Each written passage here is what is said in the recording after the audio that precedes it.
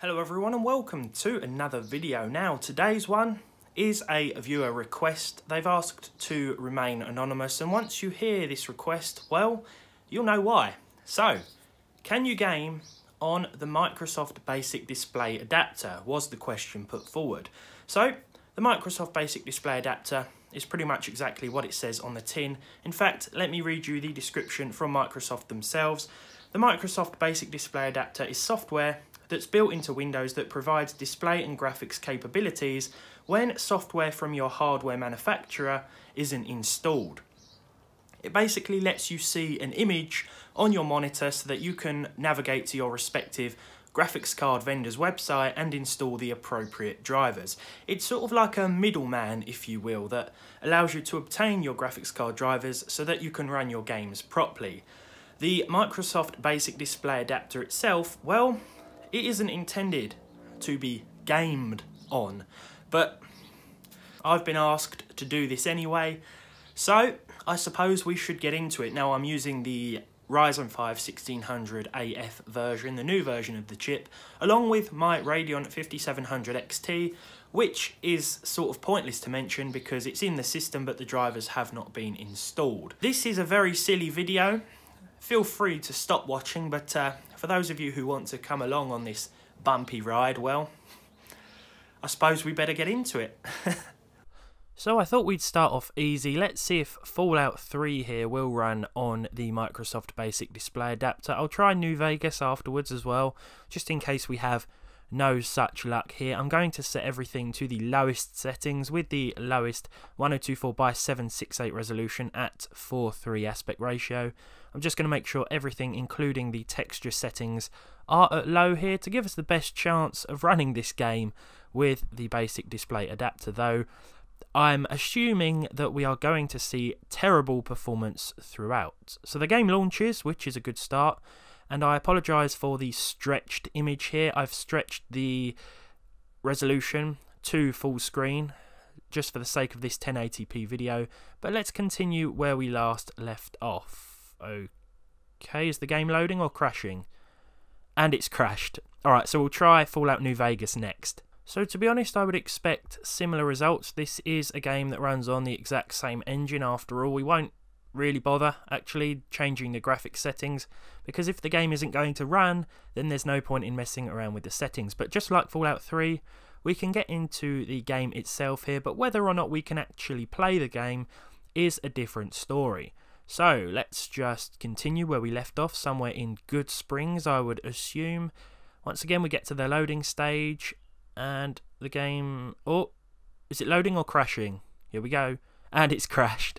No such luck with Fallout titles. Okay, so let's try GTA 3. We can click play. Oh, but the game just stops. Maybe that was just a one-off occurrence. Let's just try and click play again. Sometimes Steam does that anyway, so let's click play and hopefully we can jump into the game. I guess not. Alright, moving on. We'll, we'll install another GTA and see if it runs any better than this one. In the meantime, though, we'll try my disc based copy of the Elder Scrolls Oblivion. Perhaps we'll have a little more luck here. I'm just going to set everything to low again. And after waiting a while for everything to load, as you can see here, we are in the game. Thanks for loading me in the water. I forgot that I had saved here. Now, one thing you will notice if you can actually get a game running um, is the high CPU usage simply due to the fact that the GPU drivers aren't installed. The CPU takes a hammering, even the Ryzen 5 here. Normally this would be at about maybe less than 10% usage. Don't quote me on that, but yeah, as you can see, it's taking the full force of the game here. It looks absolutely awful at the very low settings. I think I remember playing it like this a few years ago with my integrated graphics solution, but to my surprise, we are running Oblivion with at least 30 FPS on the Microsoft Basic display adapter as we explore this little town here. Okay. if you take a look at the graphics in the background here, everything is looking pretty atrocious. The CPU is maxing out, so to speak, on occasions. And yeah, it's an overall despicable experience. uh, I'm going to admit it. Okay, we are getting at least 30 FPS, but I didn't bother with the 1% and 0.1% lows here because no one should ever do this. There is no real reason to. you should always install your graphics card driver. Even if it's integrated graphics, just install the drivers.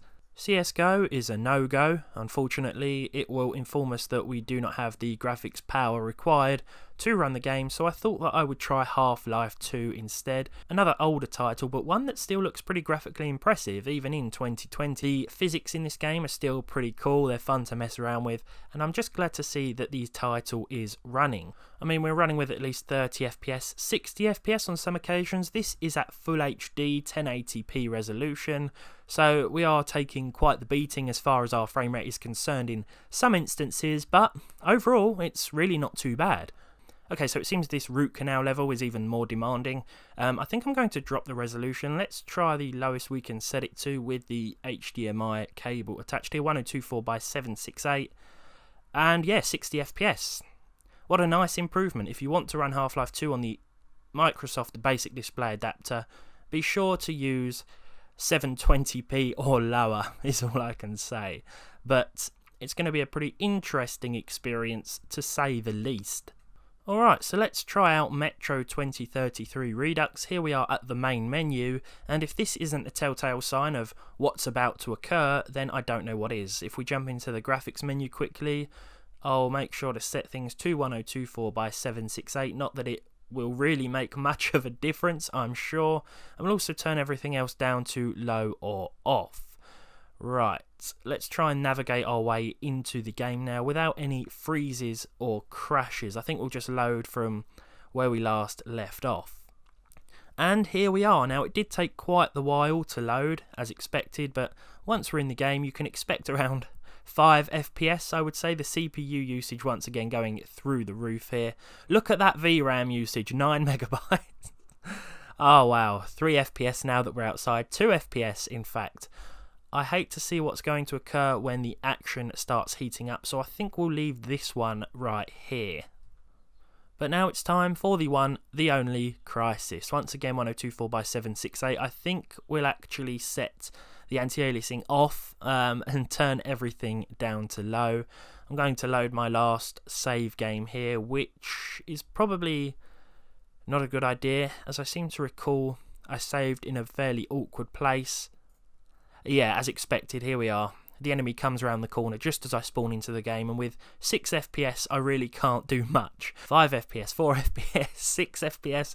Okay, it's not doing too bad. I reckon 5 on average. Um, I say not too bad, but you know what I mean. Despite the PowerPoint presentation style gameplay, we managed to dispatch of those two fairly quickly. As you can see though, Crysis certainly isn't looking its best. Assassin's Creed Black Flag this is about as far as you can get. The in-game graphics menu will load, it will take about two years, and once you're there you can't really adjust any settings because the game is so laggy that it just does not want to play ball. So yeah, Assassin's Creed Black Flag, unplayable. Much like most other games actually so far. Dirt Rally 2.0 though, well, you know I like to run this game on a lot of hardware because it's fairly easy to do so and even here we can expect 2 frames per second from our basic display adapter. What an absolute beast. Here we are running this very good looking DirectX 11 title and uh, it's running without a hitch. Of course it isn't, it's running terribly. but what can you expect? I hope that the anonymous user who asked the question is satisfied by what they've seen today, but just in case they're not, we're going to jump into another older title now, another GTA title. This is Grand Theft Auto Vice City. Right, so we might as well jump into the options menu first of all. The MSI Afterburner overlay is taking up most of the screen, but we won't play around too much with the settings. Let's see if we can run it at 1080p though, that'll be interesting. So let's jump right into the game now. We'll start a new game as I apparently don't have any saved games here. And as we start the game, you'll see that we're averaging 30 FPS. In fact, the frame rate doesn't really move from 30 FPS. It's quite an enjoyable experience, even at 1920 by 1080. Once again, the Ryzen 5 1600 putting in all the work here. And yeah, it, looks good. Vice City still, even in 2020. It's a very nostalgic game, this. I have a feeling actually that we might have the frame rate limiter on. So I'm going to just jump into the settings again and see if we can turn that off. And yeah, the frame rate limiter is on here. If we turn it off, we're getting around 40, 50 FPS, which is a nice improvement over the limited 30, but you can still expect some stutter. Overall, should you do this? Absolutely not. Like I said before, I hope the viewer who asked this question is satisfied with the outcome because I certainly am not, but I wasn't expecting much more to be honest, and I'm sure you guys weren't either. But thank you very much for watching. If you enjoyed it, leave a like on it, leave a dislike if you didn't. Please install your graphics card drivers, and hopefully I'll see you all in the next one.